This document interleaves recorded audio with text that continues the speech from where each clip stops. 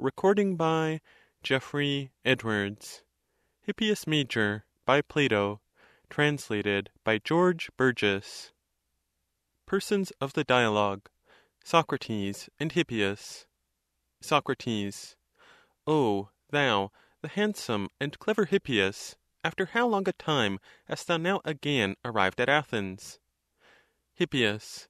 I have had no leisure time, Socrates; for when Elis wants to transact any business with any other state, she always comes to me the first, selecting me as an ambassador from the citizens, from her conceiving that I am the most competent to be a judge of the arguments urged by each of the states, and to report upon them.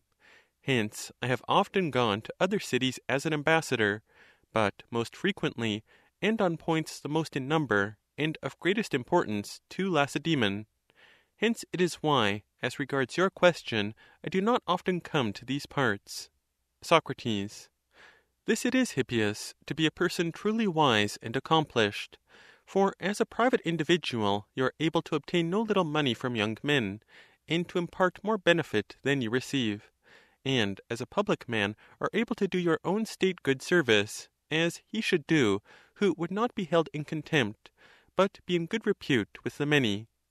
But, Hippias, what is the reason why those men of the olden time, whose names are so renowned for wisdom, Pittacus, and Bias, and Thales of Miletus, and his disciples, and those who come after, down to Anaxagoras, appear all, or most of them, to have kept aloof from public affairs? HIPPIAS. What else, Socrates, can you suppose than that they were unable or not sufficiently fit to reach by their intellect to both subjects, public and private? Soc. Shall we then by Zeus affirm that as the other arts have improved, and the operatives of former times were of no mark as compared with those of the present, so the art of you, Sophists, has improved likewise, and that those of the ancients who were engaged in the study of wisdom were persons of no mark in comparison with you? Hippias. You speak perfectly correctly. Soc. If then Hippias were Bias to come now to life again, he would be exposed to ridicule as compared with you, just as our modern statuaries assert that Daedalus, were he alive to execute such works as those from which he gained his great name, would become ridiculous. Hippias. It is as you say, Socrates. I am, however, accustomed myself to praise highly the men of the olden time, or even our immediate predecessors before; and, more than the moderns, acting with a feeling of caution as regards the envy of the living, and of fear as regards the anger of the dead. Soc. Correctly, Hippias, as it seems to me, are you thinking upon and considering the matter; and I too can testify that you are speaking the truth and that your art has in reality improved in enabling you to transact public affairs conjointly with private. For Gorgias, the great sophist of Leontium, came hither on an embassy from his country, as being the man most competent among the Leontines to transact public affairs, and was thought to speak the best before the people here; and at the same time, by making a display of his powers in private, and associating with young men, he gained and carried away great sums of money from this city. Or, if you wish for another instance, our friend Prodicus himself has frequently come hither in a public capacity from elsewhere; but on arriving the last time, not long since, publicly from Ceos, and speaking before the council, he was held in high repute, and by making a display of his powers in private, and associating with young men, he gained a wonderful heap of money. But of those ancient sages not one ever thought proper to demand money by way of a fee for making a display of their wisdom before persons of all climes. Such simpletons were they, and so completely did it escape them that money was a thing of great value; whereas each of the preceding made more money from his wisdom than has any operative in whatever trade you will, and even prior to these did Protagoras. Hippias. You know nothing, Socrates, about these beautiful things; for if you knew how much money I have made, you would be amazed. The other instances I pass by; but having gone once to Sicily, while Protagoras was residing there in high repute, and rather advanced in years, I did, although much younger, gain in a very short time more than 150 mina; nay, from Inycum, a very small town, I took above twenty. This, when I arrived home, I carried and gave to my father, so that it struck him and the rest of the citizens with wonder and astonishment; and I almost think I have made more money than any two Sophists together, whom you choose to name. Soc. You bring forward, Hippias, truly a good and great proof, both of your own wisdom and of the men of the present day, how superior they are as compared with those of the olden time. For of your predecessors, down to Anaxagoras, great is proclaimed the folly, according to your statement; for to Anaxagoras, they say, happened the very opposite to what has befallen you. For of the great wealth left him he took no care, and lost it all; in so silly a manner did he act the sophist. And of the other ancient sages other stories of a similar kind are told. You seem then to produce this as a good proof of the wisdom of the moderns as compared with the ancients; and many indeed agree with you, that the wise man should be wise for himself especially; and of such a person this is the one definition—he who can make the most money. Let this then suffice. And now tell me from which of the cities whither you went did you gain the greatest money? Is it not plain it was from Sparta, whither you went the oftenest? Hip. Not by Zeus from thence, Socrates. Soc. How say you? the least, then? Hip. Never anything at all. Soc. A monstrous and marvellous account you are giving, Hippias. But tell me, has not that wisdom of yours the power to make those who associate with you and learn it better as regards virtue? Hip. Yes, very much so, Socrates. Soc. Were you then able to make the sons of the Oenotians better, but unable to make the sons of the Spartans? Hip. Far from it. Soc. Are the Siceliots desirous of becoming better, but the Spartans not? Hip. The Lacedaemonians are, Socrates, very desirous. Soc. Was it then from their want of money that they shunned your society? Hip. By no means, for they have enough of it. Soc. What then could it be? That although they were desirous of virtue, and had money, and you were able to benefit them to the greatest extent, they did not send you away loaded with wealth? Was it that the Lacedaemonians can educate their sons better than you? Shall we say this? And do you concede it is so? Hip. By no manner of means. Soc. Were you, then, unable to persuade the young men at Lacedaemon that by associating with you they would make a greater progress in virtue than by associating with their own people? Or were you unable to persuade their fathers that they ought to hand over their children to you rather than take that care upon themselves, if they had any regard for their children? For surely they did not grudge their sons becoming as virtuous as possible. Hip. I do not think they felt any grudge. Soc. In good truth, Lacedaemon is a well regulated city. Hip. How not? Soc. Now, in well regulated cities virtue is most highly prized. Hip. Certainly. Soc. And to impart this to another, you know the best of all men. Hip. By much so, Socrates. Soc. Now, would not the man who could best impart the art of horsemanship be the most honored, and acquire the most wealth in Thessaly, or wherever else in Greece this art is cultivated the most? Hip. It is likely. Soc. Will he, then, who can impart instruction of the greatest value with respect to virtue, be honored the most, and make the most money if he wishes it, not at Lacedaemon and any other of the well regulated states in Greece, but in Sicily rather, as you think, my friend, or at Inycum? Shall we, Hippias, give credit to this? For if you command, I must do so. Hip. It is not, Socrates, the custom of the country for the Lacedaemonians to disturb their laws, nor to educate their children contrary to established usages. Soc. How say you? Think you that it is the custom of the country for the Lacedaemonians not to act correctly, but to do wrong? Hip. I would not say so, Socrates. Soc. Would they not do right then to educate their sons in the better way, and not in the worse? Hip. They would do right; but it is not lawful for them to give a foreign education; since, rest assured, that if any one else ever took away money from thence by teaching, I should have taken by much the most; for they delight greatly in listening to me, and give me praise. But what I am saying is not law. Soc. Say you, Hippias, that the law is an injury or a benefit to a state? Hip. It is enacted, I presume, for a benefit; but sometimes the law, when improperly enacted, does an injury. Soc. What, then? Do not they who enact a law lay it down as the greatest good to a state? For without law it is impossible to live in a state of good government. Hip. You speak the truth. Soc. When, therefore, they who undertake to frame laws fail in procuring a good, they have missed what is lawful and law? Or how say you? Hip. Accurately speaking, Socrates, such is the case; but men are not used to give that name.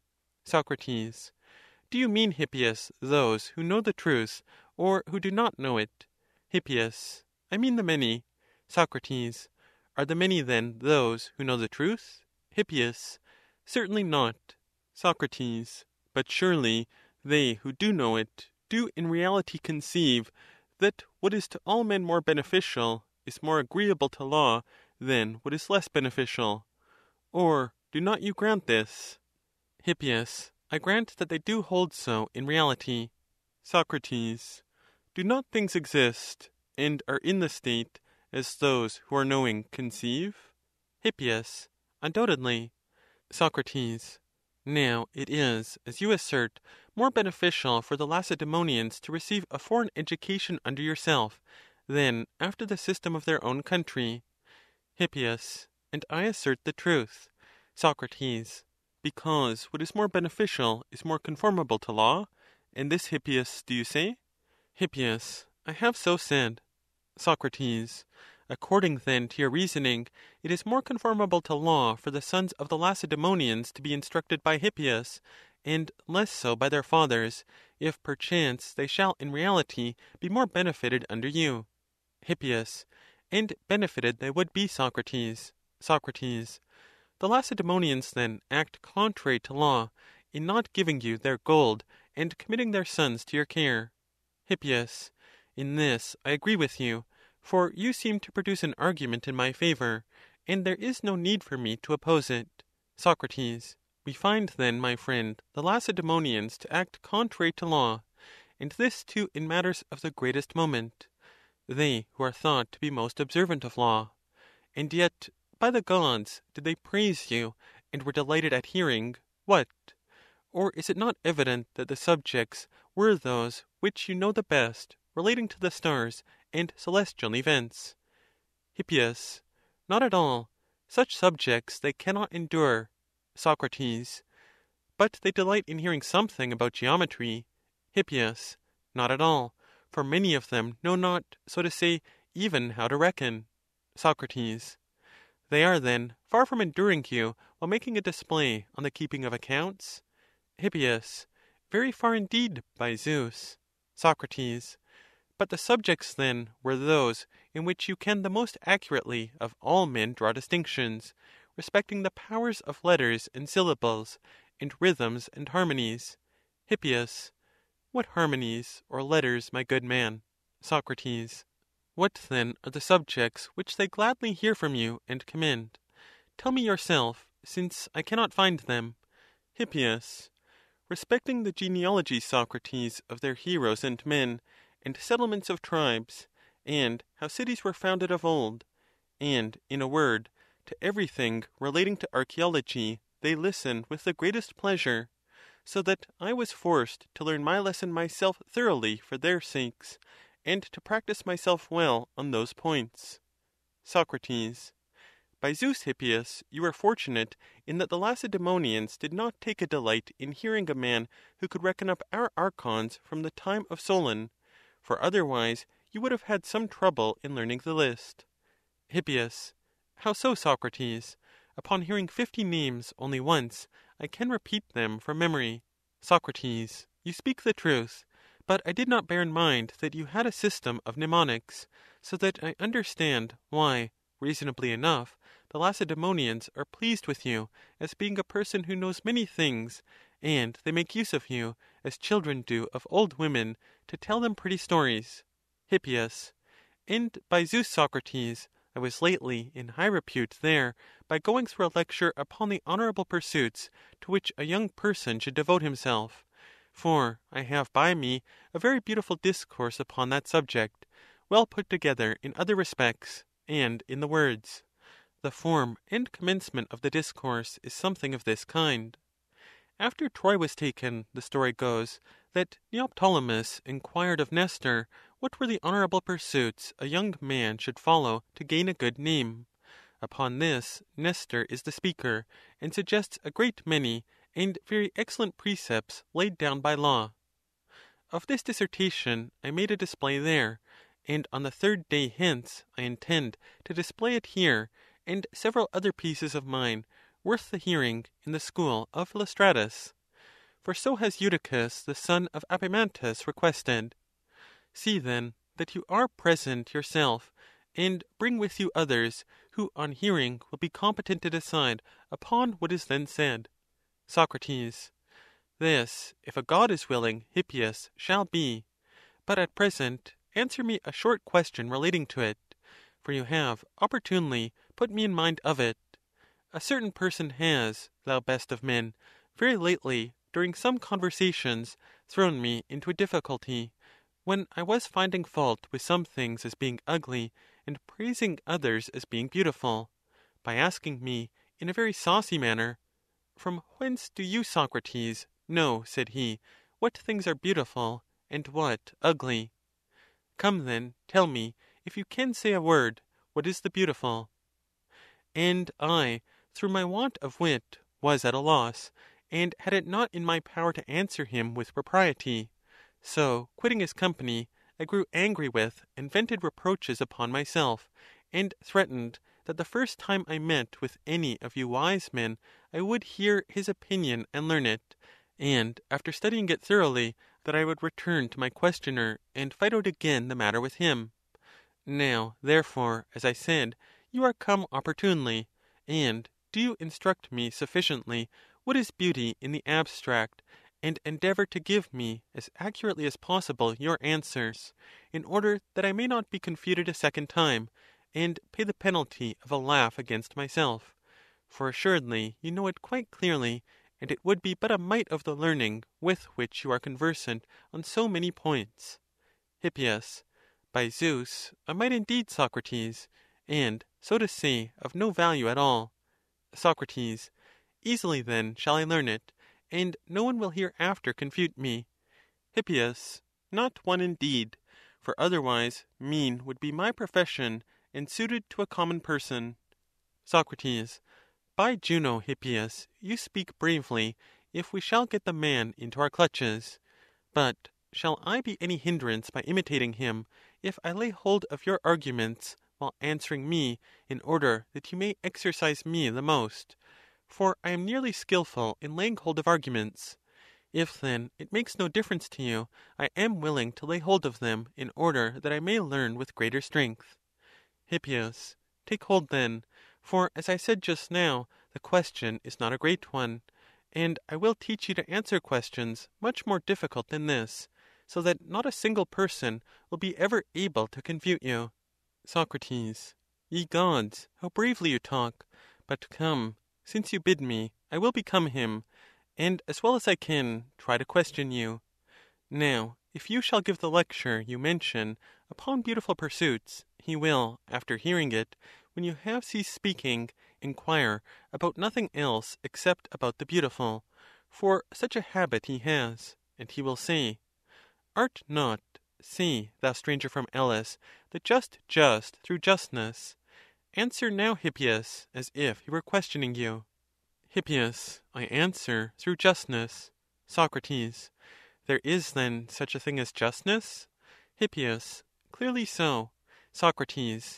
Are not then the wise wise through wisdom, and all that is good good through goodness. Hippias. How not? Soc. By those things existing really; for it is not surely by their non existing. Hippias. By their existing really. Soc. Are not all things that are beautiful, beautiful through beauty? Hippias. Yes, through beauty. Soc. By such a thing existing? Hippias. By its existing; for what should it be? Soc. Tell me now, stranger, he will say, what is this beauty? Hippias. Does he who asks this question want to know what is a beautiful thing? Soc. I think not, Hippias. But what is beauty? Hippias. How does this differ from that? Soc. Seems there to you no difference? Hippias. There is not any difference. Soc. But however it is evident that you know better, consider, however, good sir, the question well. For he asks you, not what is a beautiful thing, but what is beauty. Hippias. I understand you, good sir, and I will answer his question, What is beauty? nor shall I ever be confuted. For rest assured, Socrates, if the truth must be told, that a beautiful maiden is a beautiful thing. Soc. By the dog, you have answered, Hippias, beautifully and gloriously. Shall I then, when I answer thus, have answered the question correctly, and shall I never be refuted? Hippias. For how could you be refuted, Socrates, on that point which seems correct to all the world, and where all who hear you will testify in your favor that you are speaking properly? Soc. Be it so, then, by all means. But come, Hippias, let me consider again with myself what you are saying; for the man will question me in some such manner as this: Come, Socrates, answer me; if beauty exists in the abstract, all those things which you say are beautiful, would these be beautiful? And I will then say that, if a beautiful maiden be a beautiful thing, through which the things would be beautiful. Hippias. Think you, then, that he will still attempt to confute you by asserting that what you say is beautiful is not so, or that, should he attempt it, he will not be laughed down? Soc.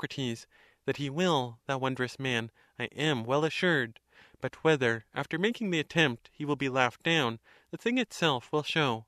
However, I wish to tell you what he will say. Hippias. Tell it then. Soc. What a sweet creature, Socrates, he will say you are! Is not a beautiful mare, which even a God has praised in an oracle, a beautiful thing? What shall we answer, Hippias? Shall we say aught else than that the mare is beautiful? at least the beautiful; for how should we dare to deny that a beautiful thing is beautiful? Hippias. You speak, Socrates, what is true, especially since the God rightly said it; for with us there are mares very beautiful. Soc. Be it so, he will say; but what, is not a beautiful lyre a beautiful thing? Shall we allow it, Hippias? Hippias. Yes. Soc. And after this he will say, as, guessing from his usual manner, I nearly know full well, My excellent fellow, is not a beautiful soup dish a beautiful thing? Hippias. Who is this man, Socrates? What an uneducated fellow, who thus presumes to express himself in words so low in an affair so solemn! Soc. Such is the fellow, Hippias; not a fine gentleman, but a man of the mob, who cares for nothing but truth. He must, however, have an answer; and I appear speaking for him. If the soup dish be made by a skilful potter, smooth and round, and well baked, like some of the beautiful soup dishes with two handles, containing six choes, very beautiful; if he inquires about such a soup dish, we must confess it to be beautiful. For how could we say that what is beautiful is not beautiful? Hippias. Not at all, Socrates. Soc. Is not a beautiful soup dish, then, he will say, a beautiful thing? Answer. Hippias. But, Socrates, the case is, I think, this: even such a vessel, when beautifully made, is a beautiful thing; but this taken as a whole does not deserve to be considered as beautiful as compared with a mare, and a maiden, and the other things of beauty. Soc. Be it so. I understand you, Hippias, that we must thus reply to the person who puts such a question. You are ignorant, my man, that correct is the saying of Heraclitus, that the most beautiful ape as compared with another kind is ugly, and that the most beautiful of soup dishes is ugly as compared with the maiden kind, as says Hippias the wise. Is it not so, Hippias? Hippias. You have answered, Socrates, quite correctly. Soc. Hear, then, for I know well he will say after this. What then, Socrates? Should any one compare maiden kind with God kind, would he not be in the same case as when the maiden kind was compared to the soup dish kind? Would not the most beautiful maiden appear ugly? Or does not Heraclitus, whom you bring forward, say this very same thing, that the wisest of men, when compared with a God, appears an ape in wisdom and beauty, and everything else? Shall we confess, Hippias, the most beautiful maiden is ugly as compared with the God kind? Hip. Yes; for who, Socrates, would gainsay this at least? Soc. Should, however, we confess this, he will laugh and say, Do you then remember, Socrates, what you were asked? I shall reply, I do. It was this: What is beauty in the abstract? Whereupon he will rejoin, When you are asked about beauty in the abstract, you answer by mentioning that which happens to be, as you say yourself, not more beautiful than ugly. So it seems, I shall say. Or what else, my friend, do you advise me to say? Hip. This I advise you: for that the human kind, as compared with the Gods, is not beautiful, he will say the truth. Soc. If I had asked you at the outset, he will say, What is a thing beautiful and ugly? Had you answered me as you have done just now, would you not have answered correctly? And still, does it seem to you that the beautiful itself, by which everything else is decorated and looks beautiful, whenever that species of beauty is present to it, is a maiden, or a mare, or a lyre? Hip. If this, Socrates, he is seeking, it is of all things the easiest for me to tell him in answer what is that beauty by which all other things are decorated, and by which, being present, they appear beautiful. The man is the greatest simpleton, and knows nothing about beautiful chattels; for if you tell him in answer that the beautiful about which he is inquiring is nothing else than gold, he will be in a difficulty, and not attempt to confute you. For we all surely know, that wherever gold is present to a thing, how ugly soever it may have seemed before, it will appear beautiful when it is decorated at least with gold. Soc. You have no experience of the man, Hippias; how difficult he is, and admitting nothing easily. Hip. What matters it, Socrates? for what is correctly asserted he must admit, or, not admitting it, be laughed at. Soc. And yet he will not only not admit this answer, thou best of men, but he will treat me with derision, and say, O thou, puffed up with conceit, thinkest thou that Phidias was a bad workman? And I shall reply, I think so by no manner of means. Hip. And you will answer rightly, Socrates. Soc. Rightly indeed. Hereupon, when I have confessed that Phidias was a good workman, he will say, Do you imagine then that Phidias was ignorant of that which you call the beautiful? Why say you this especially? I shall reply. Because, he will rejoin, if Phidias has made the eyes of Athene not of gold, nor yet the rest of her face, nor the feet, nor even the hands, since a thing of gold would have looked the most beautiful, but not of ivory, it is evident that he erred in this through ignorance, not knowing that gold is that which makes all things beautiful, wherever it is present. When he says this, what answer, Hippias, shall we give him? Hip. The answer is not difficult; for we will say that he acted rightly; for ivory is, I presume, beautiful likewise. Soc. Why then, he will rejoin, did he not make the middle part of the eyes of ivory, but of stone, having found in the stone a similarity as great as was possible to ivory? Or is a beautiful stone a beautiful thing? Shall we say so, Hippias? Hip. We will say so, if it is becoming. Soc. But where it is unbecoming, it is ugly. Shall I confess it or not? Hip. Confess; at least when it (the stone) is not becoming. Soc. What then, he will say, do not ivory and gold, thou wiseacre, when they are becoming, cause things to appear beautiful, but when not, ugly. Shall we deny this, or acknowledge the man to be in the right? Hippias, we must acknowledge this at least, that whatever is becoming to any individual thing causes it to appear beautiful. Soc. When, then, he will say some one shall have cooked the beautiful soup dish of which we have been speaking, full of beautiful porridge, whether does a ladle of gold become it, or one of fig tree wood? Hip. By Hercules! of what kind of fellow, Socrates, are you speaking? Will you not tell me who he is? Soc. No; for you would not know him, should I tell you his name. Hip. But I know already that he is some ignorant fellow. Soc. He is a man of much thought, Hippias. But, however, what shall we say? Which of the two ladles becomes the porridge and the soup dish? Or is it clearly the one of fig tree wood? for this makes the porridge of a pleasanter flavor; and at the same time, my friend, it would not by breaking the soup dish let the porridge run out, and extinguish the fire, and cause the guests just about to feast on it to be without a very noble dish. But all this the one of gold would do; so that it seems to me we ought to say that the one of fig tree wood is more becoming than the one of gold; unless, indeed, you say otherwise. Hip. It is indeed, Socrates, more becoming; but for my part I would not converse with a fellow who asked such questions as these.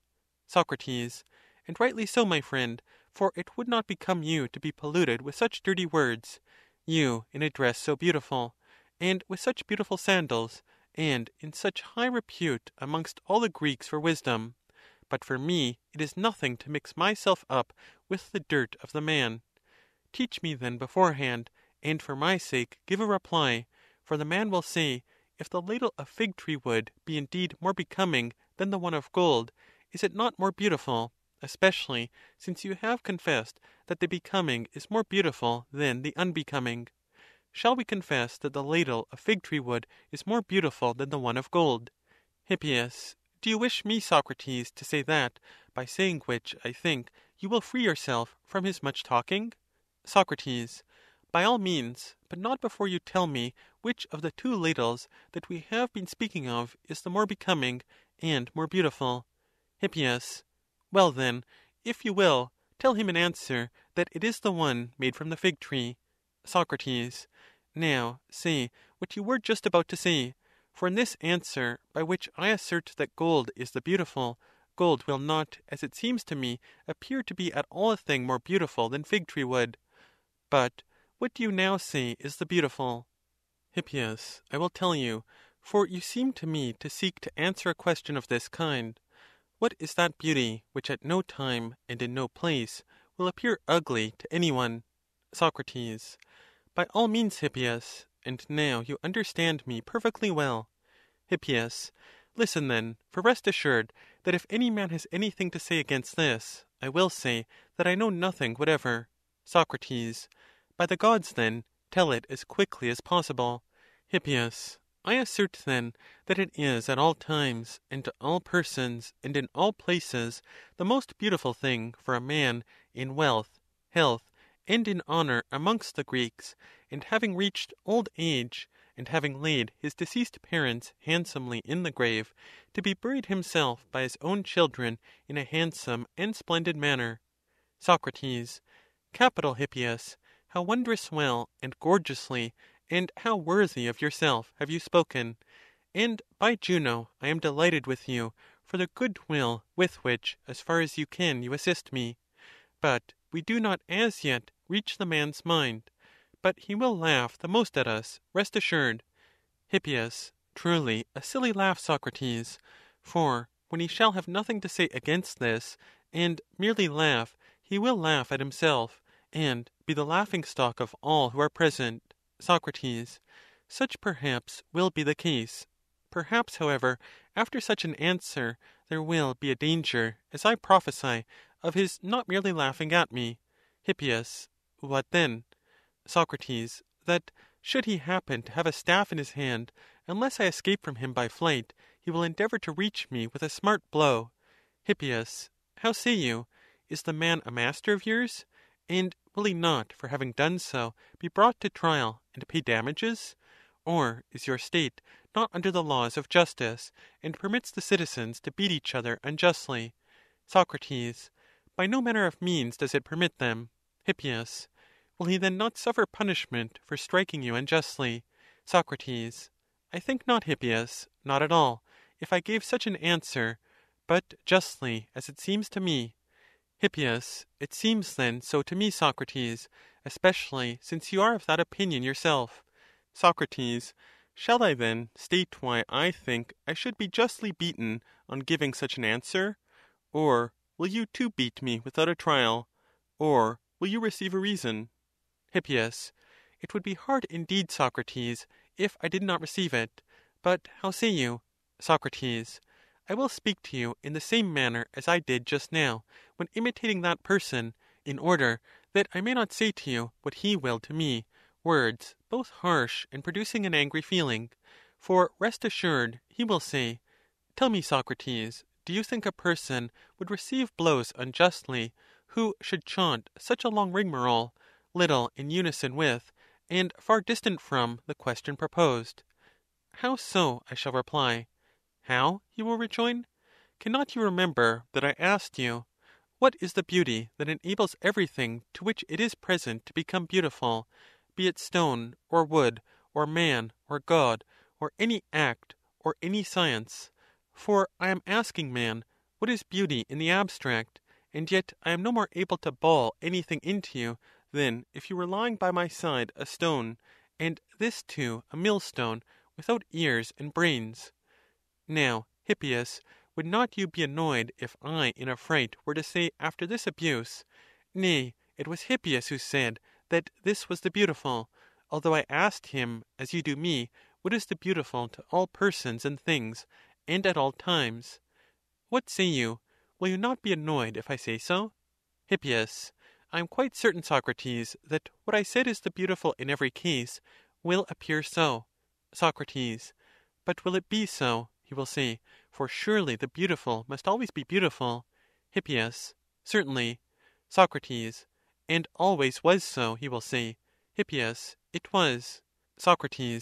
Did the Elean stranger assert, he will say, that it was a beautiful thing for Achilles to be buried after his progenitors, and for his grandfather Aeacus, and the others born of the gods, and even the gods themselves? Hip. What is this? Hurl him to the blessed land. Such questions as these of the fellow Socrates are not to be spoken even, as being of ill omen. Soc. How so? It is surely no very ill omened speech, when one person asks a question for the other to say. Such is the fact. Hip. Perhaps so. Soc. Perhaps then you are the man, he will say, who asserts that it is a beautiful thing for every person, and at all times to be buried by his descendants, and to bury his parents. Now, was not Hercules one of the all? And those two whom we have just now mentioned? Hip. But I did not say it was so for the gods. Soc. Nor for the heroes, as it seems. Hip. Nor for such as were children of the gods. Soc. But for such only as were not? Hip. Certainly. Soc. According to your reasoning, then, it seems that amongst the heroes it was a grievous and unholy thing for Tantalus, and Dardanus, and Zethus; but to Pelops, and the others so born, it was a beautiful thing. Hip. So it seems to me. Soc. It seems then to you, he will say, what you have lately denied, that to some persons and at some times it is not a beautiful thing after burying their progenitors to be buried by their progeny; and further, as it seems that this cannot take place to all, and be a beautiful thing; so that this very thing is in the same case as those before, namely, the maiden and the soup dish; and still more ridiculously, to some it is a beautiful thing, but to others it is not beautiful. And even to day he will say, you are unable, Socrates, to answer the question, touching the beautiful, what it is. In these or such like terms will he reproach me justly, should I answer him in this manner; for very nearly after this fashion, Hippias, does he for the most part converse. Sometimes, however, as if in pity for my want of skill and learning, he proposes a problem, and asks if such a thing as this seems to be the beautiful or he talks upon any other subject which he happens to have heard, and about which there is a talk. Hip. How say you, Socrates, this? Soc. I will tell you. Thou godlike Socrates, says he, do cease to give such answers and on such grounds; for they are very silly, and easily confuted. But consider now, whether the beautiful be something of that kind which we just now touched upon in the answer when we said of gold, that where it is becoming it is beautiful, but where not it is not so; and of all the rest likewise, to which the becoming may be present. On the becoming, then, itself, and on its nature, do you reflect becomingly, whether this happens to be the beautiful. Now, I am accustomed in such matters to assent on every occasion for I know not what to object.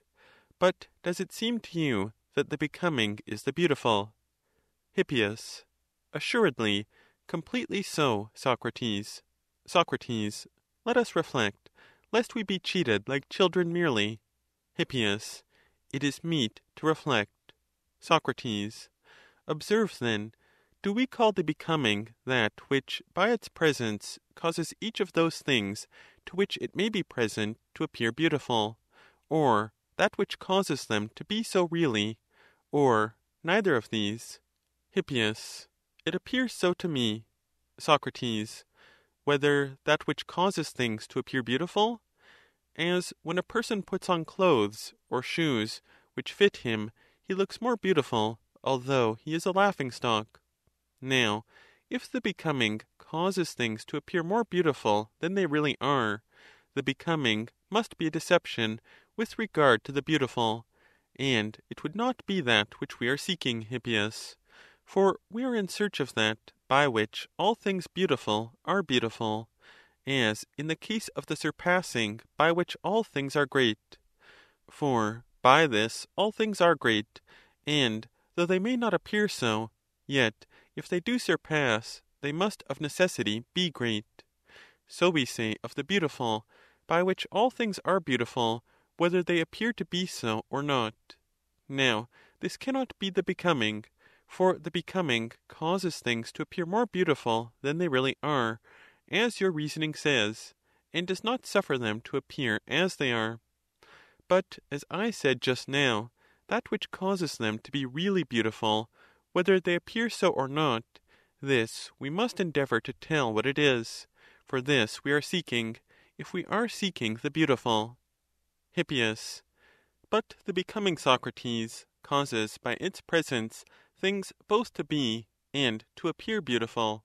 Soc. It is impossible then for things really beautiful not to appear to be beautiful, at least when that is present which causes them to appear so. Hip. It is impossible. Soc. Shall we then, Hippias, confess that all things really beautiful, both institutions and pursuits truly beautiful, are reputed to be beautiful, and appear so always to all men? Or must we say, quite the contrary, that they are unknown, and that dissension and contest take place respecting these points most of all, both amongst individuals privately and publicly amongst states? Hip. In this way rather, Socrates, that they are unknown. Soc. This would not have been unknown, if the appearing to be beautiful had been added to the reality; and added it would have been, had the becoming been the beautiful, and had caused things not only to be beautiful, but to appear so likewise; so that the becoming, if it were that which causes things to be beautiful, would be that beauty in the abstract, of which we are in search, and not which causes things to appear beautiful.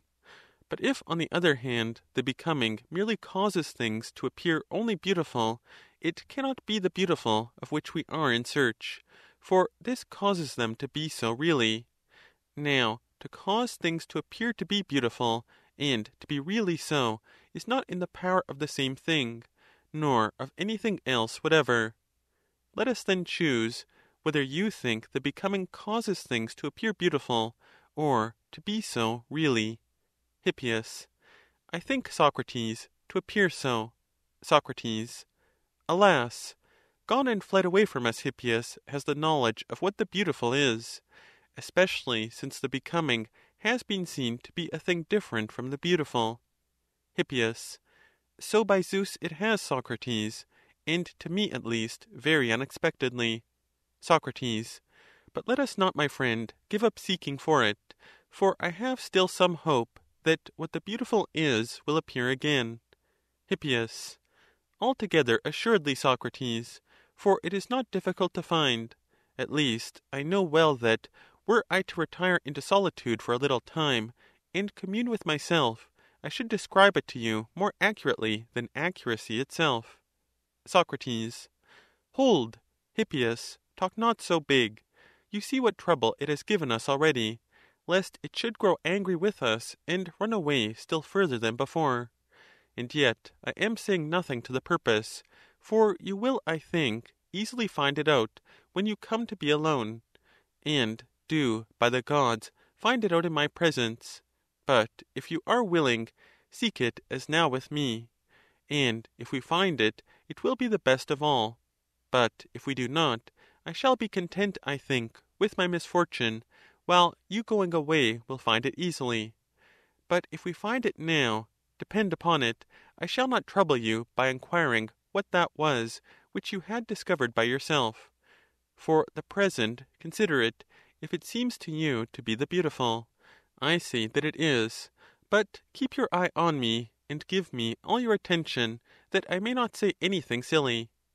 Let then that which is useful be for us the beautiful; and this I say from thinking on these points.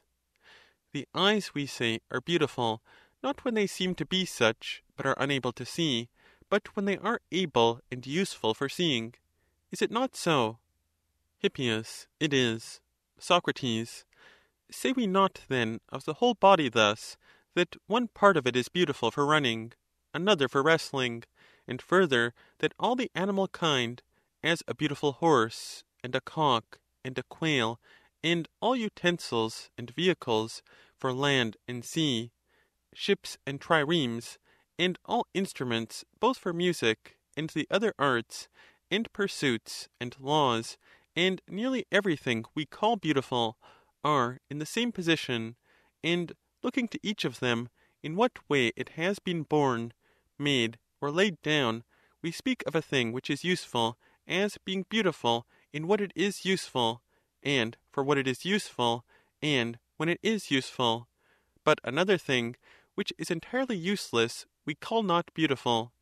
Does it not so seem to you, Hippias? Hip. To me it does. Soc.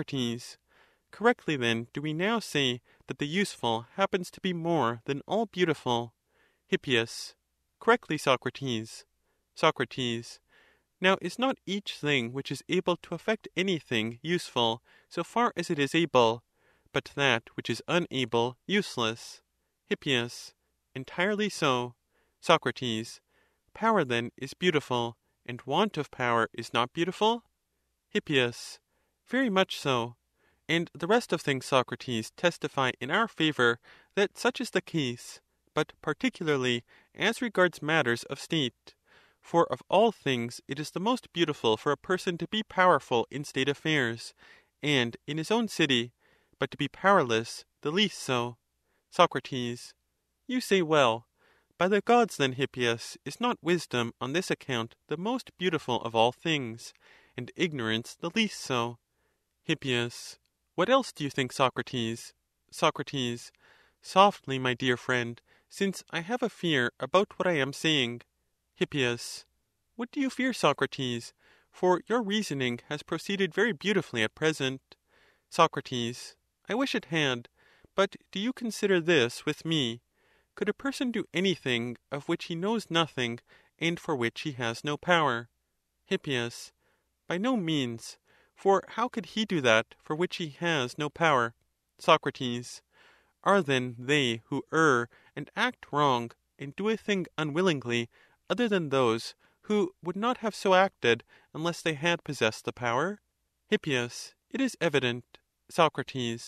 But, however, they who are powerful are powerful through power; for assuredly it is not through want of power. Hip. Certainly not. Soc. All then who do anything are able to do what they do? Hip. Yes. Soc. And all men, beginning from boyhood, do many more evil things than good, and err unwillingly? Hip. The fact is so. Soc. What, then, shall we say that this power and these means, however useful they may be for the doing evil, are beautiful, or do they want much of being so? Hip. They want much, in my opinion, Socrates. Soc. The powerful, then, and the useful, Hippias, are not, it seems, the beautiful. Hip. If indeed, Socrates, it has power to do good, or is useful for things of that kind. Soc. Away then has fled that thing at once the powerful and the useful, as being, without exception, beautiful.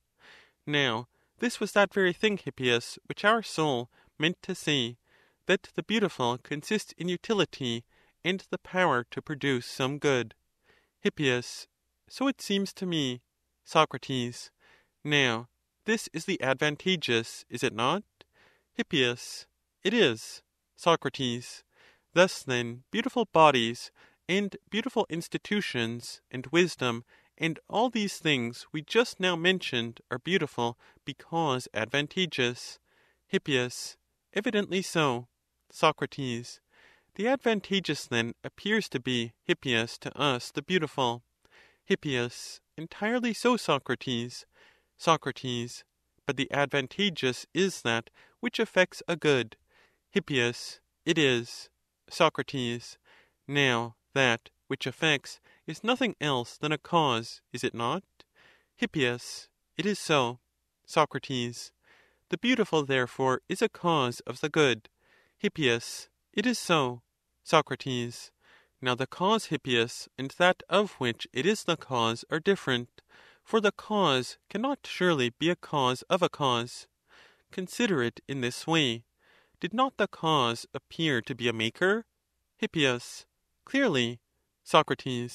That which is made by the maker is nothing else but the produced, but is not itself the maker. Hip. Such is the fact. Soc. The produced, then, is one thing, and the producer is another? Hip. Yes. Soc. The producer, then, is not the cause of itself, but of that which is produced by it. Hip. Entirely so. Soc.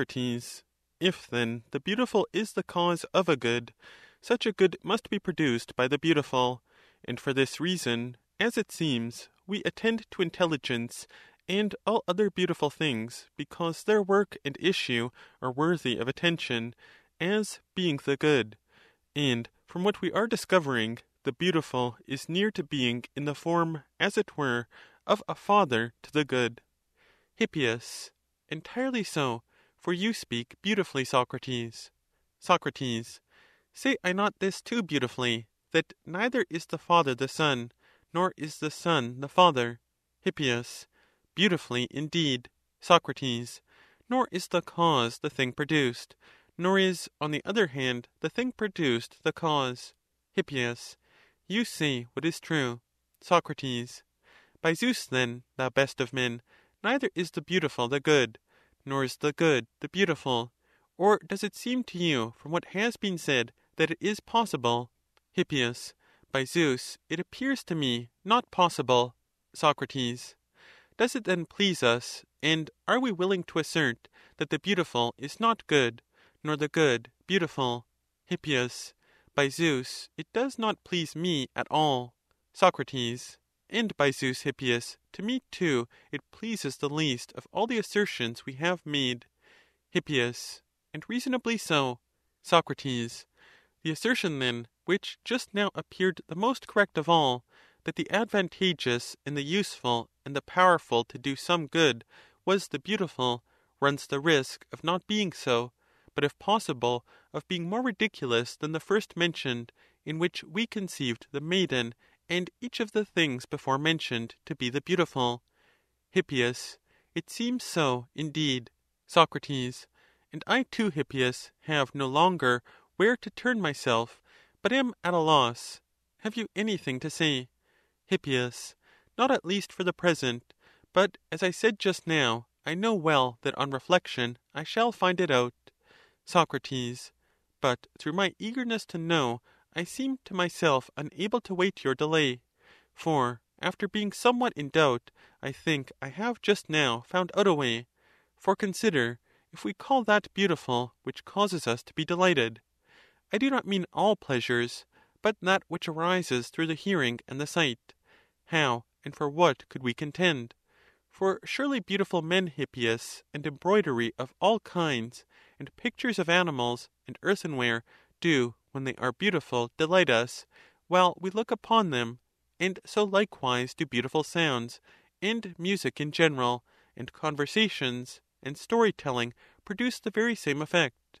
So that should we say, in reply to that swaggering fellow, My man of metal, the beautiful is that which produces pleasure through the hearing and the sight, think you that we should restrain him from his swaggering? Hip. What the beautiful is seems, Socrates, to me at least, to be well defined. Soc. What then shall we say, Hippias? That pursuits and institutions being pleasant through the hearing or through the sight are beautiful? Or have they some other kind of beauty? Hip. These beautiful things will perhaps, Socrates, lie hid from the man. Soc.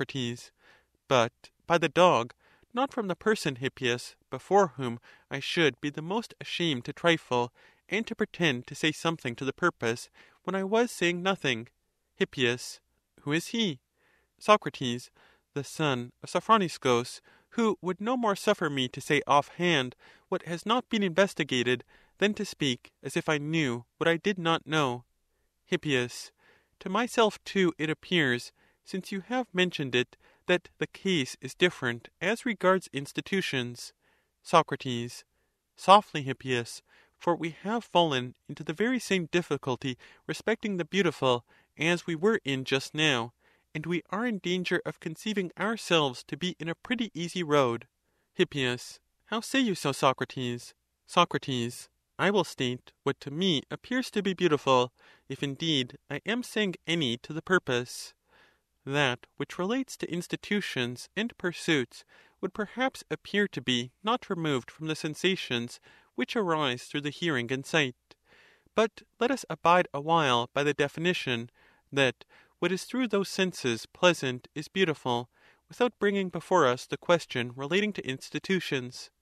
Now, should the man I mentioned, or any one else ask us, Why have ye, Hippias and Socrates, separated from the pleasant in general that species of it in which ye say consists the beautiful, and yet deny that what relates to the other sensations, connected with food and drink and sexual intercourse, and all the rest of such a kind, are beautiful? Or do ye assert that these are not pleasant, and that there are no pleasures at all in such sensations, nor in anything else except seeing and hearing? What shall we say, Hippias? Hip. We will say, by all means, Socrates, that in the other things likewise there are very great pleasures. Soc. Why then, he will say, do ye take away from these pleasures, really existing no less than those, their very name, and deprive them of the property of being beautiful? Because, we will say, there is not one who would not laugh at us were we to say that to eat is not a pleasant but a beautiful thing, and to smell sweet not a pleasant thing but beautiful. But with regard to sexual intercourse, all would surely admit that it is to us a thing the most pleasant; but it is meet so to carry it on, if a person will do it, as that no one see him, since it is a deed the most disgraceful to behold. On our saying this, Hippias, he will perhaps remark, I now perceive that you have been of old ashamed to say that these pleasures are beautiful, because they do not seem so to men. Now, I did not ask what seems to be beautiful to the multitude, but what is so in reality. Whereupon we shall, I presume, state in reply, that we asserted that this part of the pleasant, arising from the sight and hearing, was a beautiful thing. But have you it in your power to use the reasoning for anything? Or shall we, Hippias, say anything else? Hip. Against what has been urged, Socrates, it is necessary to say no other than this. Socrates. Truly Do ye say well, he will reply. If, then, the pleasure coming through the sight and hearing be a beautiful thing, that which does not happen to be a part of such pleasant sensations, it is clear cannot be beautiful. Shall we confess it? Hip. Yes. Soc. Is, then, that which is pleasurable, he will say, through the sight, pleasurable through the sight and hearing conjointly? Or that which is pleasurable through the hearing, pleasurable through the hearing and the sight conjointly? By no means, we shall answer, would that which exists through either exist through both; for this you seem to us to say; whereas we assert that each of these pleasurable things would be beautiful, taken by themselves, and both together. Should we not answer thus? Hip.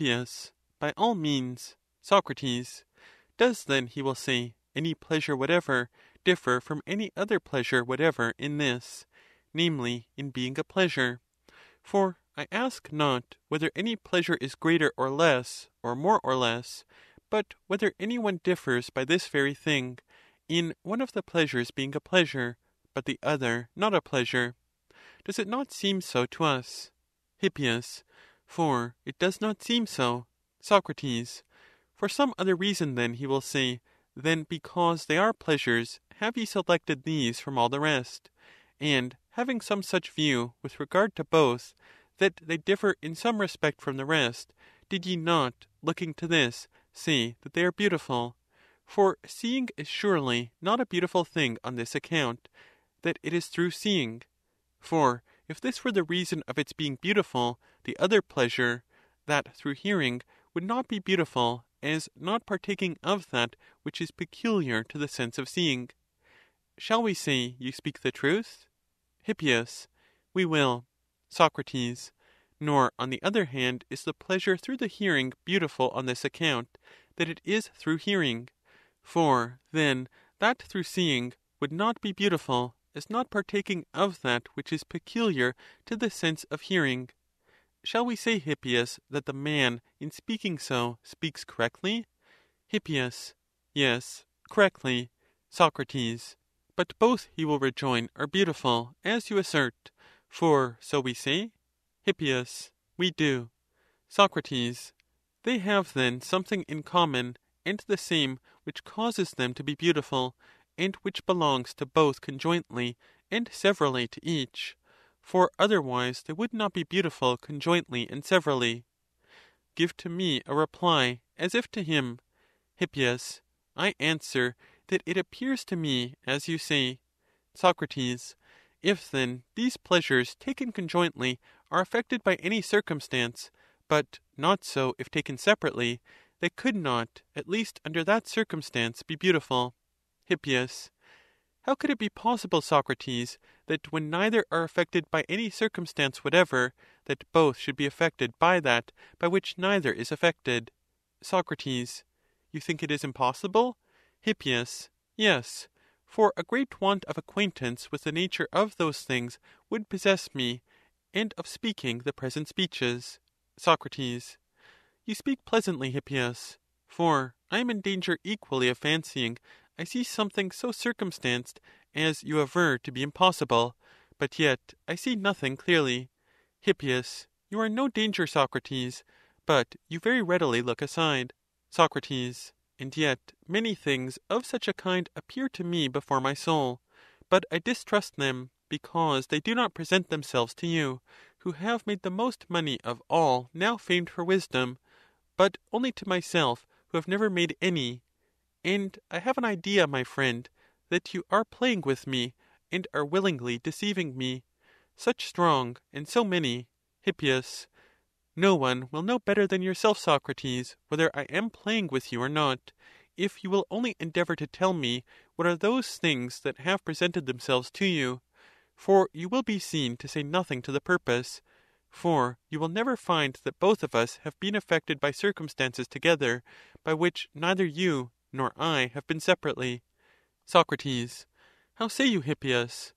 But perhaps you are speaking something to the purpose, and I do not understand it. Do you then hear from me what I wish to state more clearly? For it appears to me that what neither I have been under the circumstance of being, nor am, nor, on the other hand, what you are under such a circumstance, it is possible for both to be; and, on the other hand, that other things, which both of us are under the circumstance of being, neither of us are. Hip. You appear to me, Socrates, to exhibit in your answers again still greater wonders than when you answered before.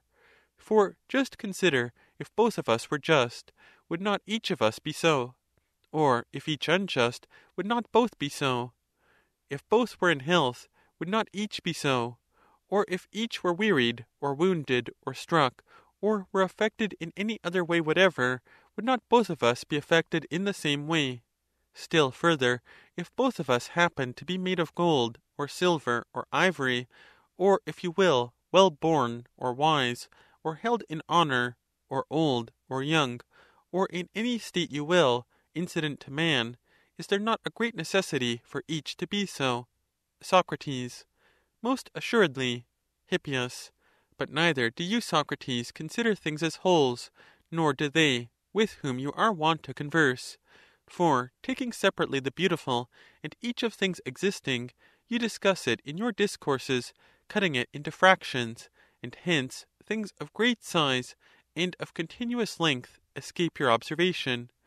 And to such an extent have they escaped you now, that you conceive there is something, either circumstance or being, which, as regards two things taken jointly, does exist, but does not as regards them taken singly or, on the other hand, does exist as regards each taken singly, but not as regards both taken jointly.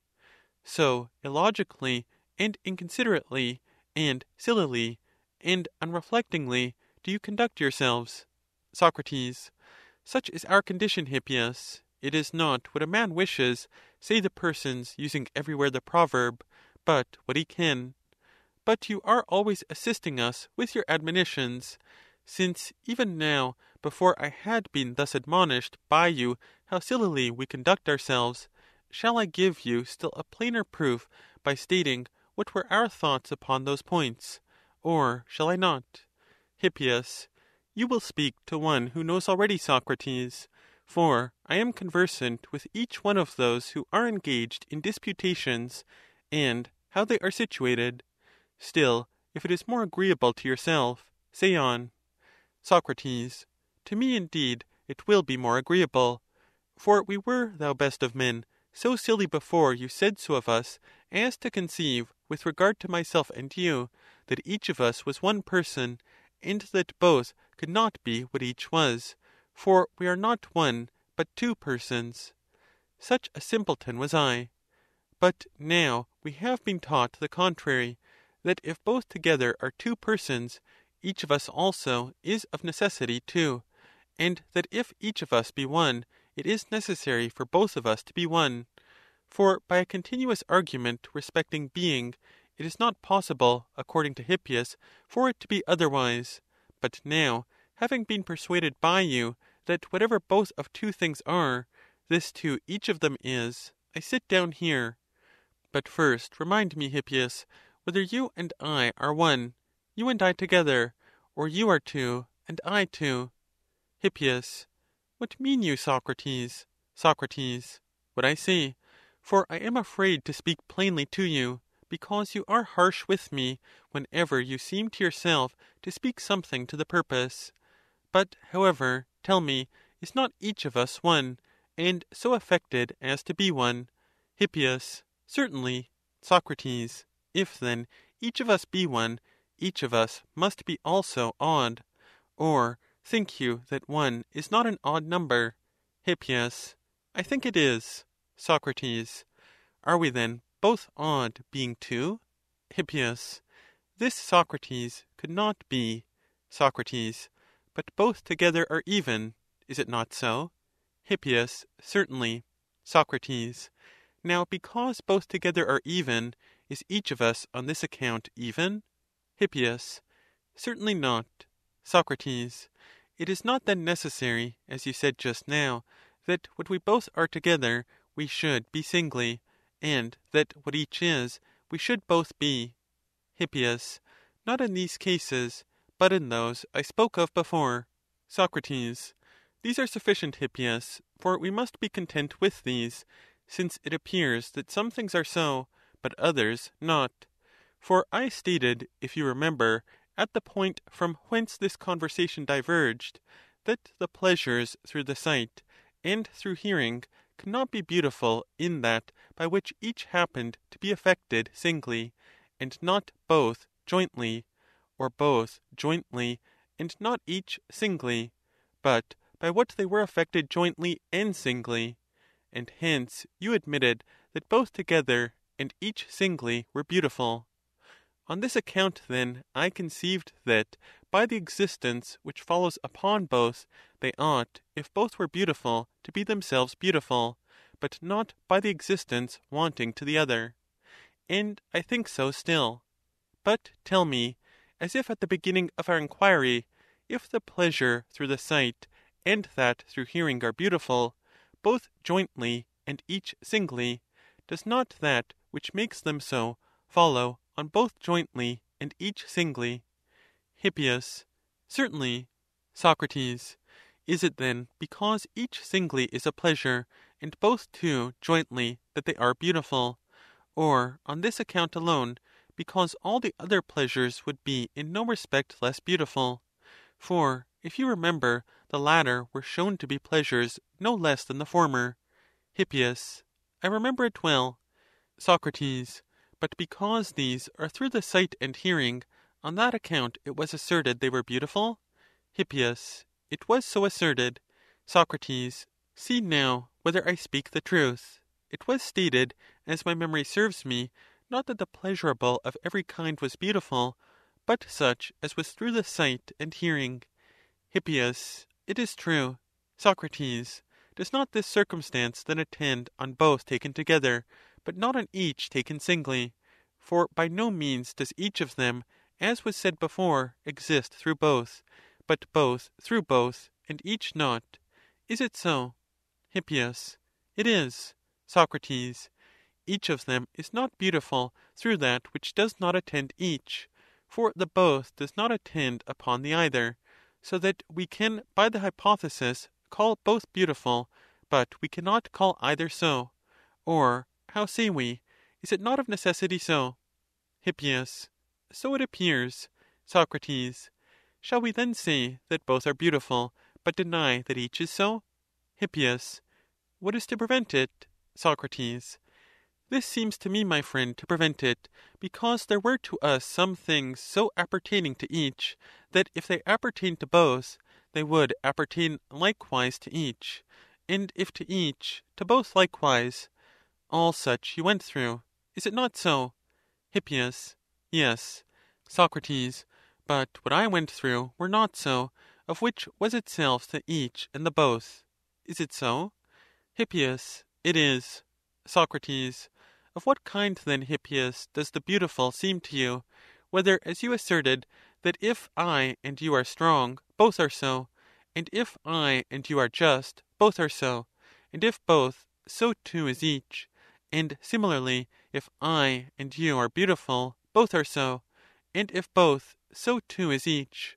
Or is there nothing to prevent it, as in the case of numbers, where, some things taken together being even, may be, when taken singly, odd, and perhaps even; or when each, being taken separately, is perhaps irrational, but taken both together may be rational, or perhaps irrational? And there are other things of this kind infinite in number, which I said presented themselves to me. Now, on which side do you place the beautiful, on that, as it appears to me, or to yourself? For it appears to me a great absurdity for both of us to be beautiful, yet each of us not so; or for each to be beautiful, yet both not so; or as regards any other thing whatever of such a kind. Do you choose to say in this way or that? Hip. In this way, Socrates. Soc. And you do wisely, Hippias, in order that we may be freed from a further search. For if any of these things is the beautiful, the pleasurable which comes through the sight and hearing would no longer be the beautiful; for the pleasurable that comes through the sight and hearing causes both, taken together, to be beautiful, but not either singly. This, however, cannot be, as I and you, Hippias, have agreed. Hip. We have agreed. Soc. It is impossible, then, for that which is pleasurable through the sight and hearing to be the beautiful, since a thing being produced as beautiful exhibits something of the impossible. Hip. Such is the case. Soc. Say, then, again from the beginning, he will say, since you have erred in this, what, say you, is that beauty which attends upon both these pleasures, for the sake of which you honored them before the others, and called them beautiful? To me, Hippias, there seems a necessity to say that these are of all pleasures the most harmless, and the best taken together and singly. Or have you to state anything else by which they are different from other pleasures? Hip. By no means; for they are in reality the best. Soc.